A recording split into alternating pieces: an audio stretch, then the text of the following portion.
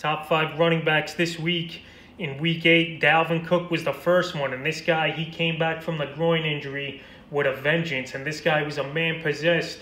The first guy to score four touchdowns on his team's four first four possessions since 1973. The Packers had no answer for Dalvin Cook, and this is why he's a top three running back in fantasy football and the NFL. He had 30 carries, a huge workload for 163 yards and three touchdowns, and also two catches for 63 yards and a 50 yard receiving touchdown off a nice screen.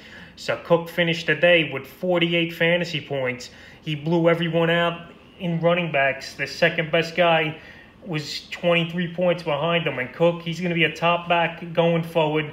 He gave my teams a huge boost. I got Cook in three leagues, and this is the performance I needed from him. And this is why you spent the first round pick on Dalvin Cook, because this guy, he's pound for pound, possibly the best back in the league.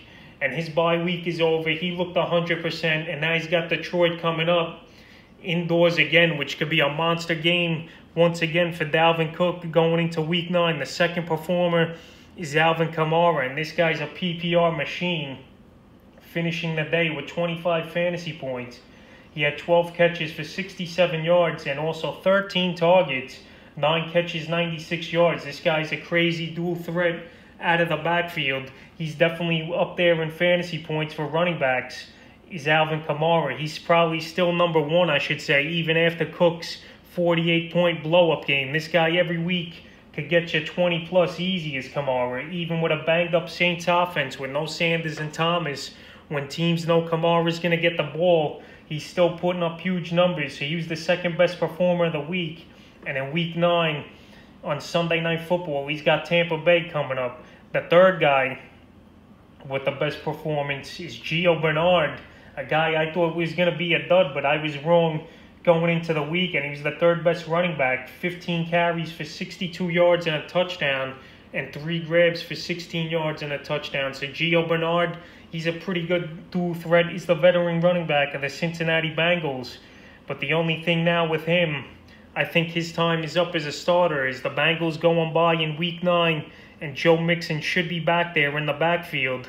I think they rested him this week because of the foot, because they knew they had the bye up, giving him the extra week of rest. So I think Bernard, his value will be canned after this game, but he was the third performer with 22 fantasy points. The fourth guy, another surprising guy, and I don't know if he'll be good this week coming up if Chris Carson comes back, but I also said to go get him out on waivers if Carson or Hyde don't come back, and that's the rookie DeeJay Dallas of the Seattle Seahawks. He had 22 fantasy points, 18 carries for 41 yards and a touch, and also five catches he added for 17 yards and a touchdown, and he played 80% of the snaps. So with no Carson and Hyde there, was him and a banged up Homer. We knew Dallas would get the full workload if those guys were inactive, and he didn't disappoint for fantasy purposes. But as far as playing surfaces, he wasn't that great blocking and stuff. But Dallas, if he starts again, you plug him in. Because, like I say, if you got a guy on your team and he's going to have a decent role and he's part of a top five offense in the NFL, you go out there and start him because the opportunities of scoring are greater than a guy on a weaker team. And the fourth, the fifth and final guy, I mean, in fantasy points from the running back position is Nyheim Hines.